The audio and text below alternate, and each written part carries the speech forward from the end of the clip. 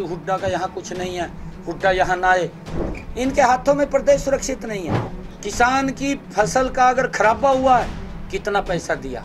कुमारी शैलजा दूसरे ग्रुप के लिए कहती है हुड्डा साहब दूसरे के लिए कहते हैं किस तरीके से कहते हैं? देखिए मुझे अचर्ज होता है इस बात का कि इलेक्शन चलता हो और इलेक्शन चलते हुए के अंदर कुमारी शैलजा इस प्रकार की बात बोलती हो कि हुड्डा का यहाँ कुछ नहीं है हुड्डा यहाँ ना आए।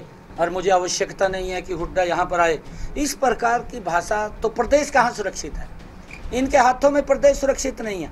मैं इस बात का भी, मैं यहाँ पर भी आया था, शायद आप लोगों से भी मैंने बात किया था। मेरी शायद आपके पास वीडियो होगी।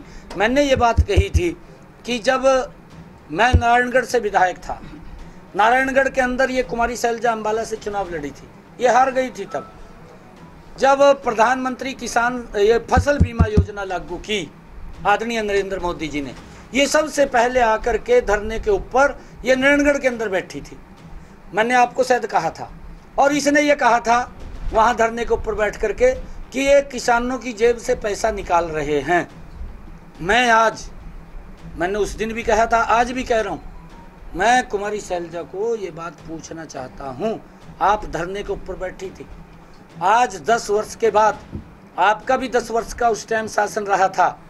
उस सरकार के अंदर साझीदार थी आप, केंद्र के अंदर, प्रदेश में सरकार थी। और आपकी सरकार ने दस वर्षों में किसान की फ़सल का अगर खराबा हुआ है, कितना पैसा दिया? बताने का काम करें। किसान जानना चाहता है पूरे प्रदेश का? हमने कितना दिया, हम भी बताने का।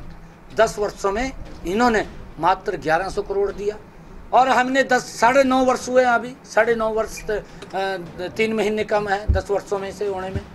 हमने तेरह हज़ार करोड़ रुपया किसानों के खाते के अंदर उनकी फ़सल के खराबे का पहुँचाने का काम किया है, योजनाबद्ध तरीके से किया है।